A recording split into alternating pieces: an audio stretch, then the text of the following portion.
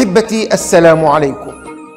إن المسلم منا يعيش في رحاب اسمي الله الرحمن الرحيم ويستظل بظلالهما الوارفه معظم يومه.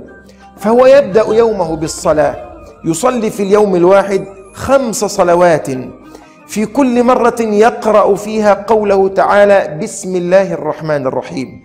فيصير العدد في اليوم الواحد سبع عشرة مرة يذكر فيها اسمي الله الرحمن الرحيم. ثم هو يقرأ فاتحة الكتاب الحمد لله رب العالمين الرحمن الرحيم. فيصير العدد الآن أربعا وثلاثين مرة. هذا إن اقتصر فقط على الفرائض لكنه لو أكمل هذا كله له بالسنن النافلة لتضاعف ذلك العدد. واسم الله الرحمن واسم الله الرحيم من أشهر الأسماء بعد اسم الجلالة الله.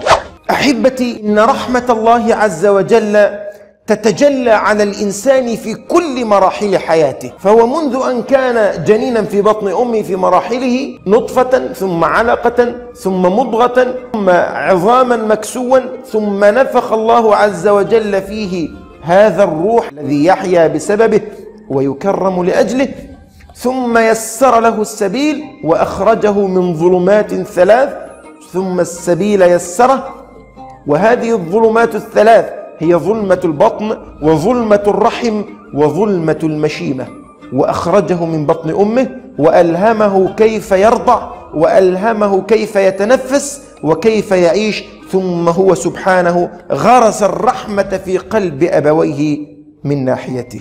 في يوم من الأيام جاء سيدنا عمر بن الخطاب رضي الله عنه بسبايا من المشركين فكان من بين هؤلاء السبايا امرأة لها طفل رضيع وفجأة تاه ولدها عن عينيها في وسط زحام كثير من الناس وظلت الأم تتهافت على وليدها كالمجنونة تبحث عنه وسط الناس كالذي يبحث عن إبرة صغيرة في كومة كبيرة من القش. ماذا عساها أن تفعل؟ وإذا برحمة الله عز وجل تتجلى لها وتجد وليدها فإذا به فورا تلصقه بصدرها وتلقمه إياه ليرضع. وكان النبي صلى الله عليه وسلم حريصا على أن يهتبل تلك الفرص ويقتنص تلك المواقف ليربي بها أصحابه والمسلمين من بعده. فقال انظروا أترون هذه المرأة طارحة ولدها في النار؟ قالوا لا يا رسول الله وعندئذ قال الرسول صلى الله عليه وسلم لله أرحم بعباده من هذه الأم بولدها. صدق رسول الله صلى الله عليه وسلم. والسلام عليكم ورحمة الله وبركاته.